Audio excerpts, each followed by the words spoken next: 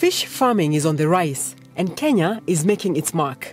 With over 150,000 metric tons of fish produced annually, Kenya's aquaculture industry is crucial to its economy and food security. However, the pressure on natural water sources is growing. Pollution from heavy metals and contaminants is taking a toll on the lakes, endangering fish populations and threatening sustainability. The question is how can we feed a growing population while safeguarding the environment? You can produce a lot of fish uh, with only putting oxygen in the water and clean the water. You can increase the fish production per uh, cubic meter actually 40 times per year. In 2009, the government's Economic Stimulus Program, ESP, assisted to set up fish ponds, enabling many farmers to raise tilapia and catfish.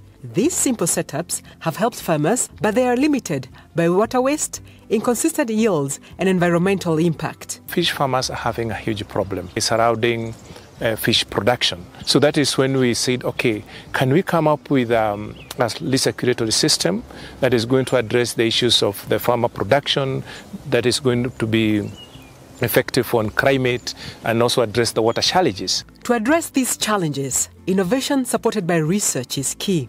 The Kingdom of the Netherlands through Wageningen University Research have partnered with other institutions, including Partners for Water, Aquafarming Consult, Laikipia University, and Food Systems and Poverty Alleviation in Africa, that is FOSPA Africa, for a feasibility project to introduce affordable recirculation aquaculture system, commonly known as ARAS, a game-changing technology designed to revolutionize fish farming in Kenya. We started off this uh, partnership uh, way back in 2015. So we started by um, uh, connecting farmers in Nyeri to fish vendors in uh, Kibera. And then from there now uh, we wanted to help farmers produce fish sustainably and that's how we came to uh, the ARAS project. Affordable recirculation aquaculture systems. It is using very little space, very little water. It is accessible to the small scale farmers because it's really based on materials that are found locally and it is affordable. The Affordable Recirculation Aquaculture System feasibility project was piloted in Nyeri given the uptake of fish farming in the county. There are over 3,000 fish farmers in Nyeri County, which is predominantly a non traditional fish rearing area. Uh, we see this as a big changer comparing with the feedback that you are getting. This is going to have a, a huge impact, especially in also in the zones like in the Mount Kenya region, which is generally not a, a fish producing zone, but they are taking aquaculture as an alternative to tea and coffee. This is going to be adopted uh, all over in the, in the rest of the country, where aquaculture is still lagging behind and people are still coming up with traditional methods of, of, of fish farming. But what's different between the traditional fish ponds and the ARAS technology? Fish pond is 300 uh, square meters or cubic meters because they're one meter deep. Per year on average, they get something like 207 uh, kilos. Uh, if you have an compared to the ARAS, it's uh, you can get a unit uh, of 75 square meters, so it's not covering a lot of, uh, of area. And then you can, per cubic meter, you can actually, of water, you can actually increase the fish production 40 times. If you have oxygen in the water and you clean the water, the growth of the fish is exponential and you can have three seasons instead of one season and also the fish grows to a bigger size. To validate this, the project worked with five demonstration farms from the county. As the feasibility project winds up, a dissemination workshop was held in Nyeri to share findings from the engagement. This is uh, an important event because a lot of the projects that have been supporting the ARAS is coming to an end. So we're entering a new period and we have a lot of interested parties wanting to cooperate with us in future. So we have a, an opportunity to communicate where we are and uh, also to setting the stage for the next period, uh, supporting a development where thousands of small-scale farmers can have the ARAS. Meet Peter, a farmer who got into fish farming five years ago, but has hence transitioned to the ARAS system. I was using the pond system. I had done a stocking density of a thousand fingerlings. I only received uh, harvested only 10 kilograms. That was a bit disappointing.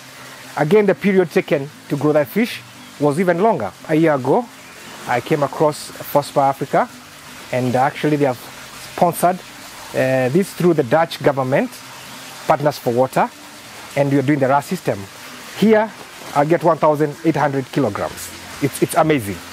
Grace Gakungu, A farmer from Madera sub-county recounts her journey in fish farming. I started with the three ponds. It was more costly because you had to make sure the, the security is there for your ponds. We had a challenge with the fingerlings because we never got the certified fingerling. I have engaged with myself with the last system and the space I'm, I'm using for the last comparing with the ponds that I had. I used to do that covering nets for the three ponds, but now I'm just using the greenhouse for the whole four tanks for the fish.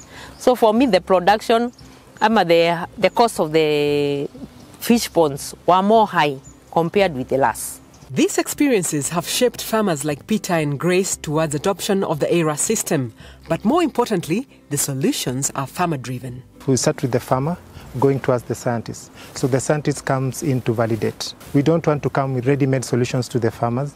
We want to identify problems from the farmer. Then we, we work with the farmer trying to get the solutions. Modeling a business out of it is one I think that is the most uh, important thing to ensure success of the uptake of this project. The affordable recirculation aquaculture system isn't without its challenges. High setup costs and technical complexity can make it difficult for some farmers. However, the rewards far outweigh the obstacles. In addition, the system allows farmers to use locally available materials, which then contribute to lowering their capital expenditure. This one tank, I can harvest 300 kilograms. Once you're looking at the four tanks here, it's equivalent to four ponds. This will take almost half an acre. And this I'm taking a dimension of 12 meters 15 meters by 8 meters. We're thinking affordability, accessibility, and sustainability. So it's based on uh, green energy sources, uh, solar energy. We use very little water because it's recirculated and cleaned. We reduce the water production per kilo of produced fish compared to the fish ponds with almost 90%. So if I'm able to cut costs, I'll increase my productivity. So I'm creating more of a circular economy. I'm able to get food on the table I'm able to make an income. I'm able to make manure, which is going to grow agricultural products. It's a well packaged ideology. In the face of climate change, the affordable recirculation aquaculture system offers a pathway to secure water resources, mitigate the effects of climate change, and ensure food security. By promoting water conservation, climate action, and sustainable farming, ERA supports several sustainable development goals. Through innovation and collaboration, we can build a brighter, more sustainable future for Kenya's aquaculture industry. A future where farmers are empowered, the environment is protected, and the communities are thriving.